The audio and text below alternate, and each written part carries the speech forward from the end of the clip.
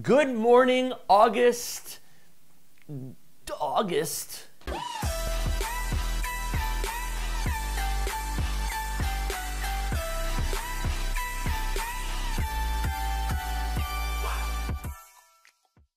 I want to thank you for being here. I want to thank you for your questions. A lot of cool questions coming in from all over the world. We got somebody from Canada, we got somebody from Lagos, Nigeria, we got someone from Mars. I'm kidding. We don't have anyone from Mars. But I'm excited that you guys are writing in, calling in, sending in, texting in, emailing in, voice messaging in, WhatsApping in, SMSing in, emailing in, Facebooking, tweeting, Instagramming. You're ing, you're inging, you're you're pinging, inging me. This is awesome. So thank you so much for these things, these questions. I really love doing this for you guys. So I'm gonna do a Q&A sprint. So without further ado, we got a question from Nasara who lives in Ghana. Nasara is uh, studying for final exams that are coming in September. There are some obstacles, there's some uh, socioeconomic situations happening that um, are preventing Nasara from necessarily getting uh, the, the amount of focus that he needs to have to really get through the, the exams in September. And he's asking basically, how do, oh, to, how do I succeed, overcome obstacles to succeed? Uh, Nasara, here's the thing that I would say to you. Number one, get down to your core, get down to your why. You have you have exams coming up in September. You want to succeed in them. There are things happening in your life that are making you worried about your your consistent motivation to stay focused from now until September. I think that you need to literally on a mirror on every single place that you see when you first wake up before you go to sleep throughout the day. You need to be writing post-it notes in terms of why do you want to get this degree in September. When I get the degree in September, this happens. And if you have that poster flashed all over the place, suddenly all the obstacles that you're going through will become more easy to overcome because you are clear on why you're doing all these things. So I would say to you, Nasara, what is the reason for all of this? Why do you want to finish your exams? When you finish your exams, what happens? Write down three, four, five things that happens when you finish those exams. Write down three or four, five things that you that are pushing you to try to get that degree. Write down three or four or five things, or the one the one big reason that this is important to you or your family or your husband or your wife, your boyfriend, your girlfriend, your kids, whatever it is, your country, your city and write that down, plaster it everywhere, and then that will be a daily reminder to you in terms of why you're doing it. Thanks for the question. Hope this helps. We have Cody James. I am curious, how did you decide what your strengths were, or were they just so self evident for you? Currently, I'm trying to learn mine, and I know um, I'll bust my butt to get work done as long as I have a goal in mind.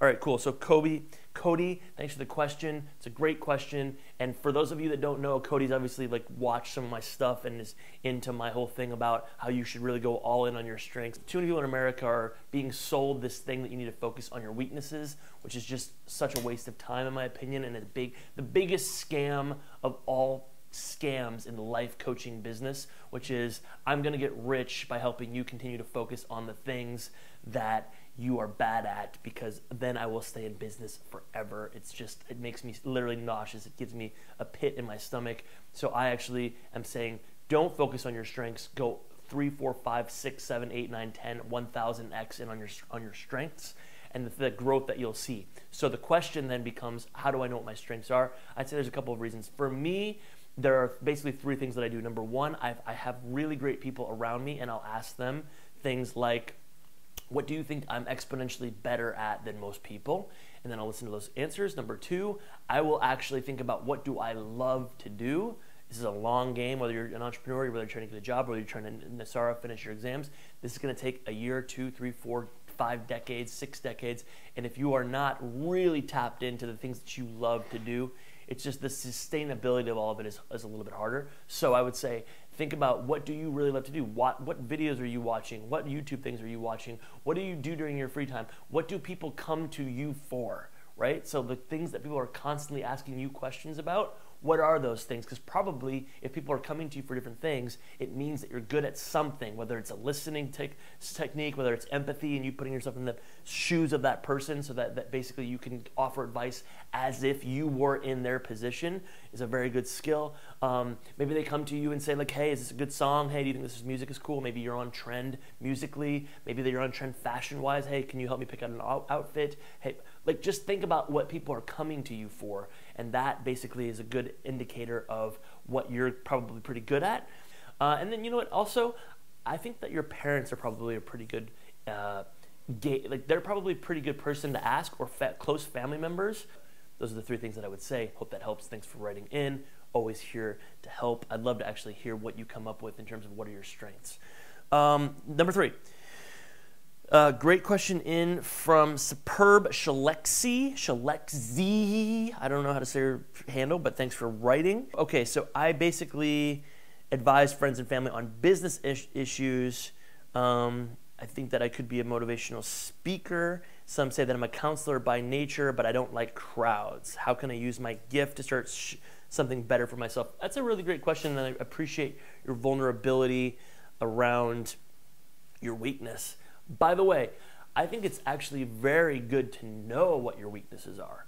I just think it's a waste of time to then put time into making those weaknesses strengths because it's just instead of becoming going from a 1 to a 3 why not go from an 8 to a 10 so being aware of your weaknesses is super important. So the fact that you don't like crowds i'm not telling people just ignore your weaknesses completely. I'm saying don't spend any time. Acknowledge them spend time thinking about what they are but that's it. Don't respect them. So um, for you, I would say it, it's, it's kind of a nice piggyback on Kobe's question, which is you obviously have a gift. People are constantly coming to you for advice, for business advice and life advice. I would say two things. If you're going to be giving life advice, um, you just have to be careful that you're not trying to monetize the life advice in ways that's going to look sleazy or like every other single life coach out there, which means um, they they make pretend like they have everything figured out so they can sell you their $1000 $2000 $5000 courses. And i just I, I can't get down with that model right now. Instead i think what i would do is i would try to figure out how i can give as much life advice for free to people and build out some sort of business separate from that um, which is basically what i'm doing. Like i give a lot of life advice and people call me a motivational speaker and that is something that i get hired to speak on behalf of but those are organizations paying me to inspire their people, not people paying me to inspire themselves. Instead, what I've done is I've built a branding and digital media agency. The bills get paid from clients that we're running storytelling and communications campaigns for with real value using social media to make them money on their ROI on investing in us. And then I use all my free, like this right now is completely free. I'm not charging for anything. There's no course that's for sale at the end of this about how to motivate. That's a really way more interesting way to become motivational than selling yourself as motivation for motivation's sake to make money for yourself. The other thing I would say is if you're going to be a business coach, I would just take a hard look at like what kind of business advice are they coming to you for? It's probably one of two things without knowing anything about you. Number one, you've built something that other people want to build and they come to you for that advice, which is you are you're in a in, in very good position because th- like if you can basically that I'm t- totally fine with you selling. Like you built a business doing something, and now people want advice on how to do that. That's fine because that's like your truth. So do that. Um, or they're coming to you for more soft skill business advice, which would be more connected to the motivational side. In which case, again, my advice would be the same as the first part of this answer, which would be figure out why they're coming to you, figuring out what business that you have going on that um, is qual- kind of qualifying you as a business advice giver focus on making the money there and then give that business advice for free because you just never know what's going to happen. The, the free business advice that you give to someone on a soft skill empathy hr based thing could lead to you they could be organizing an a, event around human resources or around communications and then all of a sudden you, you're thought of as the speaker and you make 5000 10000 20000 50000 $100000 as a speaker at that event and that was all because you offered something for free. It's a real long game guys. I encourage you not to think about the quick $97 ebook i um, course online and think about it the longer 10 20 30 years from now what happens when you've actually added value immense value that's what i'm trying to do for you guys hope that helps alberta canada wild boy xxx93 first of all I'm insanely jealous that you have that handle. I want it. Wild Boy XXX93. Although mine would be Wild Boy XXX82, so you're a little bit younger than me. I'm also jealous about that. Brian just kicked the camera. WildBoyXXX93. I'd like to talk more entrepreneurship is where I'm headed. I have the fuel, just don't have the car to get there. It's funny that you said it that way because later in the question I learned that you want to start a food truck in Alberta, Canada. Uh, thanks for the question, Wild Boy. Here's the quick answer. I know nothing about food trucks. So what I would say, and and I get questions all the time about stuff I know nothing about, and I'm not going to pretend like I know about them and give you advice because then if you follow that advice, uh, it's just bad. It's just bad karma. What I will say is this: there are a lot, and I mean a lot of people that are running successful food trucks. So what I would say is find them on Instagram, find them in Facebook, DM them, ask them for five, ten minutes of their time for coffee, and then ask them what they did and replicate that. There's so many people doing the things that everyone wants to be doing successfully. There's really no reason to reinvent the wheel. Like the food truck world is pretty well established. There are things that I'm assuming work and don't work. Figure out what those things are. Do the things that work. Don't do the things that don't work. I don't have the answer, but there are tons of people that you can hit on DM, on Instagram, on Facebook, on LinkedIn that can guide you way better than me. So my guidance for you is find someone that can actually guide you. Number five, I messaged you last week about setting goals on a journey as a budding communications consultant.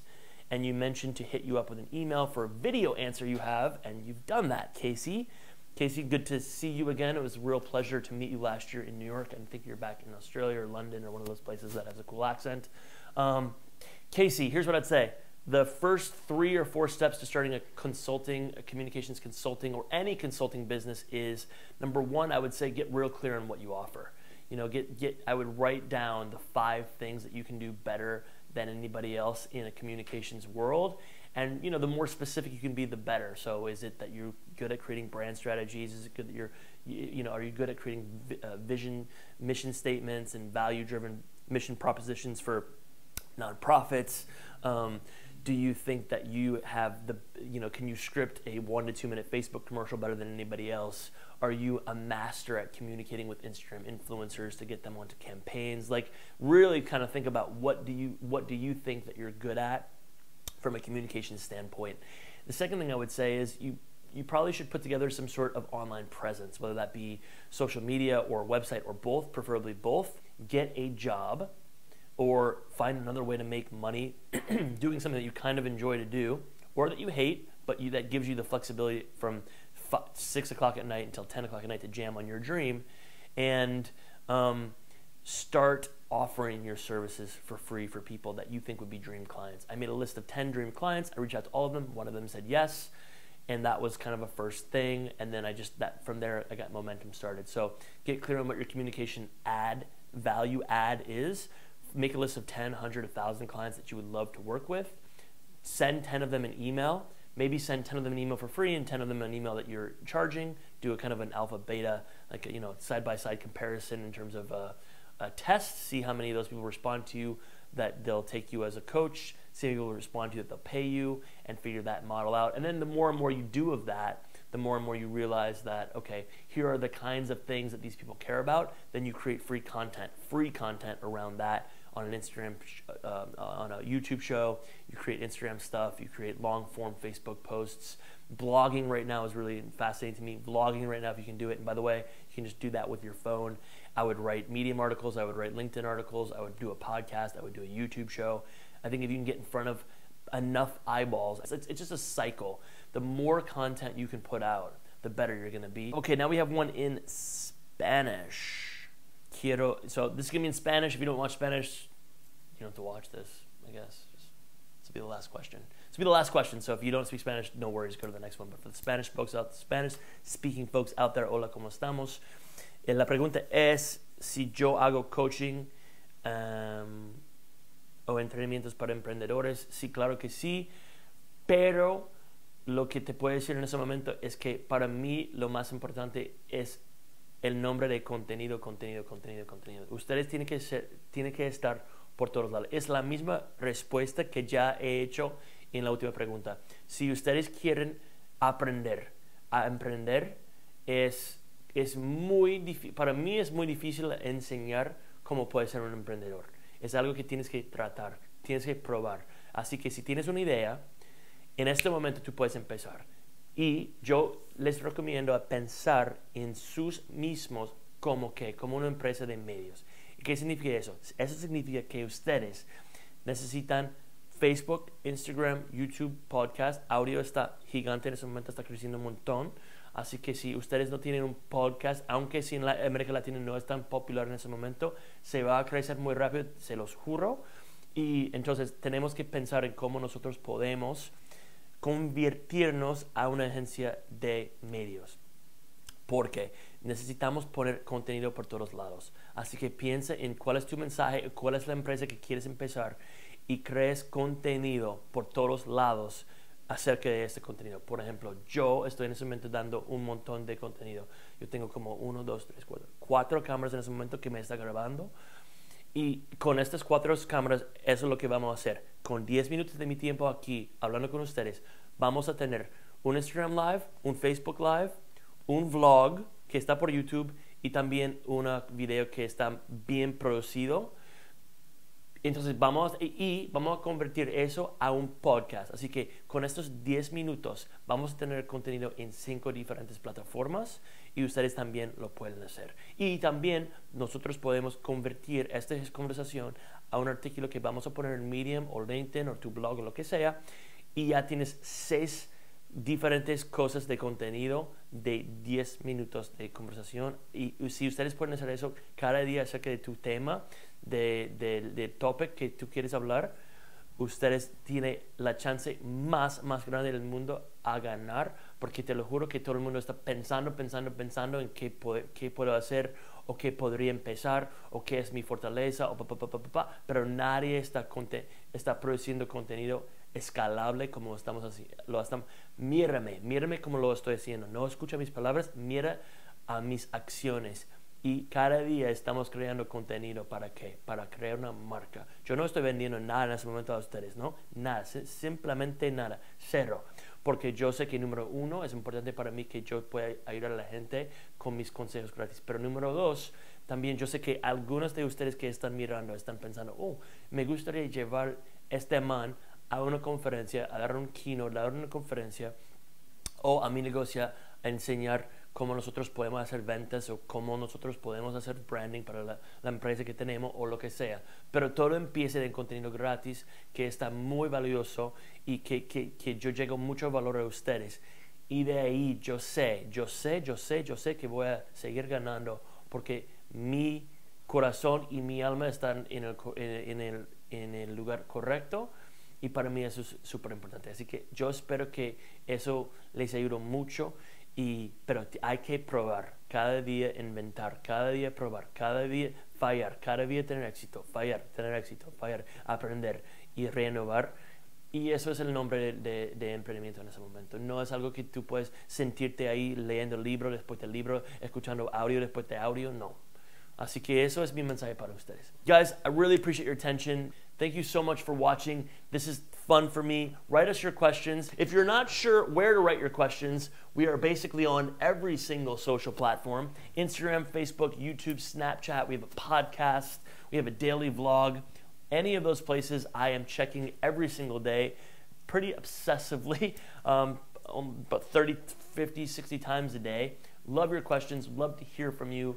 Would love to see how I can better help you. Please follow us on the social worlds. Lots of great content for free. Like I said, we're working really hard to put that out for you. So tell us what else we can help with. And uh, that's it. It's your hour. It's your dream. It's your life. So go get it because if you don't, I swear to you, no.